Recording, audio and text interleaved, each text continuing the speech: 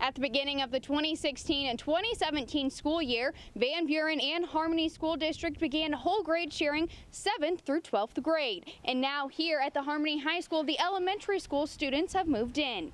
The students are blending in very well. Uh, sports are going great. It's- we just haven't had any any issues, so it's it's just wonderful. no doubt that it's always difficult when you merge people together.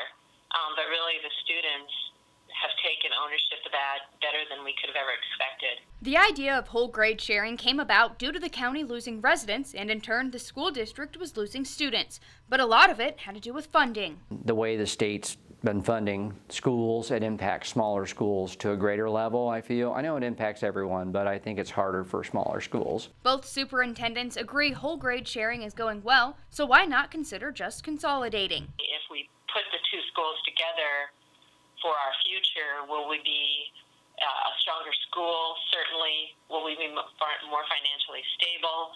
And those are the, the questions we're asking, and we're putting that work together right now. What's different about this whole grade sharing is totally a board decision. The board just instigates this process. It's the public who will decide.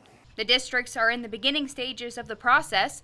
They still have a lot of factors to take into consideration. Our high school, middle school is right in the middle, and I guess one could say, well, logically, that's centralizing your resources. So, what are you going to do about the elementaries? And and I, I really don't know.